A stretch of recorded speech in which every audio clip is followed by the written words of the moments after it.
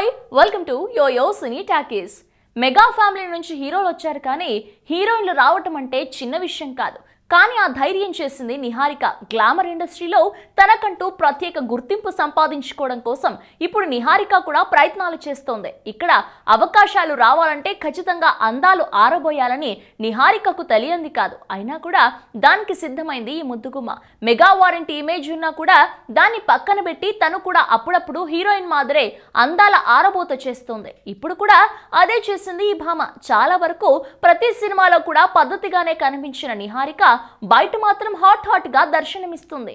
మొన్న మధ్య బీచ్లో రెచ్చిపోయిన నిహారిక ఇప్పుడు మరోసారి ఇదే చేస్తుంది. ఇకపై కూడా ఇదే చేస్తానని చెప్పింది. ఇప్పటి నుంచి తాను మోడర్న్ డ్రెస్లో కనిపిస్తానని రొమాంటిక్ రోల్స్ కూడా చేస్తానని చెబుతుంది. నిజానికి తన తర్వాతి సినిమాలో పూర్తి రొమాంటిక్ రోల్ చేస్తున్నట్లు కూడా అభిమానులతో పంచుకుంది నిహారిక. తెలుగులో ఆచార్య సినిమాలో చిన్న పాత్రలో నటించబోతుంది నిహారిక కొనిదెల.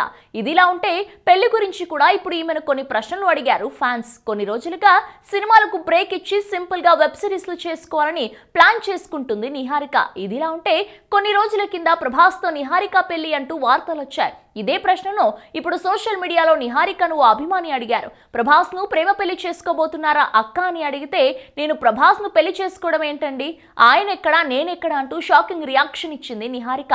అలాంటి రూమర్స్ ఎలా వస్తాయో తెలియదంటుంది నిహారిక. గతంలో కూడా సాయిధరం తేజ్తో పెళ్ళి అంటూ రూమర్స్ వచ్చాయి. మొత్తానికి ప్రభాస్తో పెళ్ళనేది సొల్లు అంటుంది కొణిదెలవారమ్మాయి. తన కుటుంబంలో అందరూ తనతో చాలా కూల్గా ఉంటారని క్లోజ్గా ఉంటారని చెబుతుంది. తన అన్నయ్య వరుణ్ తేజ్ కాకుండా చరణ్ అంటే తనకు చాలా ఇష్టమని చెబుతుంది నిహారిక. అంతేకాదు తన ఫ్యామిలీలో మిగిలిన వాళ్ళు కూడా ఫ్రీగా ఉంటారంటుంది నిహా. సాయిధరం తేజ్ వైష్ణవ్ తేజ్ తనను ఆట పట్టిస్తుంటారని చెబుతుంది. ఇక శ్రీజ తనకు బెస్ట్ ఫ్రెండ్ అని స్నేహారెడ్డి కూడా తనతో చాలా క్లోజ్గా ఉంటుందని చెప్పింది నిహారిక. మొత్తానికి లాక్డౌన్ సమయంలో చాలా విషయాలపై క్లారిటీ ఇచ్చింది మెగావారమ్మాయి. హలో మిమ్మల్నే యోయో టీవీ యాప్ డౌన్లోడ్ చేసుకున్నారా? ఇంకా లేదా మీ యాప్ స్టోర్కి వెళ్ళి వెంటనే డౌన్లోడ్ చేసుకోండి.